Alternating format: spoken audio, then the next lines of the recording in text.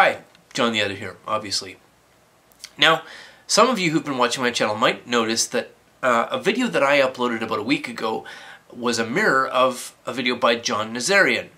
Nazarian is a guy who uploaded a video providing advice for women on how to fraudulently have their husbands arrested.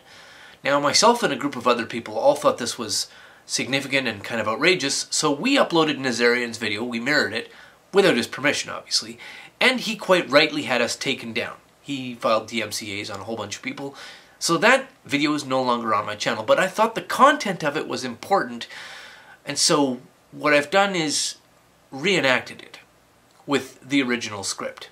So I give you the reenactment of John Nazarian's video. Oh.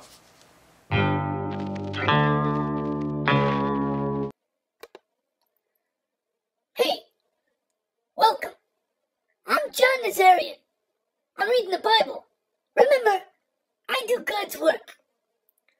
You know, if you women, have you ever really thought about trying to get rid of your husbands? Not like shooting them and digging a hole and putting them in. No, no. I'm talking about. No, that's not what I'm talking about here. What I'm talking about is the fact that putting the trash out. You've had it up to here.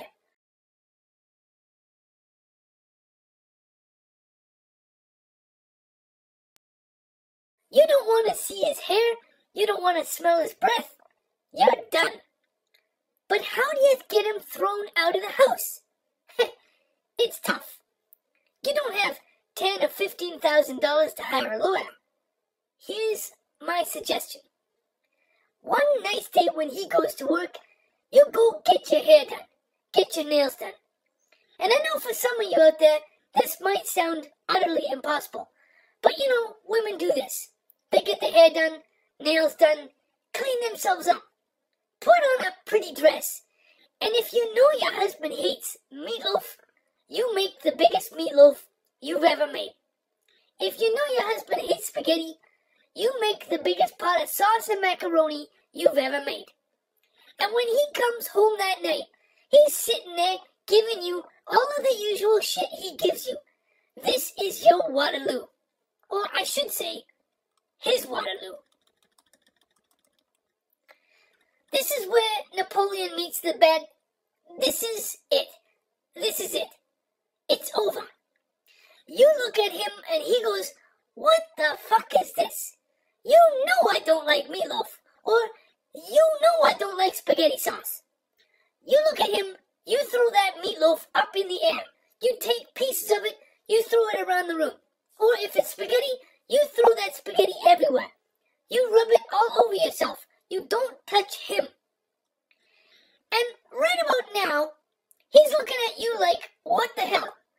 You hit 911 and start screaming, he's trying to kill me. You throw that food all over the house, all over the kitchen, break the dishes. If you happen to hit yourself in the head with the kitchen door, coming or going, that's good too. And I'm here to guarantee you something. When the cops show up, and he, they look at you all nicely dressed, and now you look like you got food all over you, he's sitting there looking like Prince Charming. He will go from looking like Prince Charming to an expression of Wile E. Coyote as to what just happened. And what you're gonna tell the cops is, you know, you made the mistake. You made a nice dinner. He didn't like it, and he freaked out. Try that, ladies. Show him the door. Otherwise known as, you just put the trash out. I'm John the Other, and this has been a production of Community Organized Compassion and Kindness Puppet Theater, or Cock Theater. And as always, thank you very much for watching, and have a lovely day.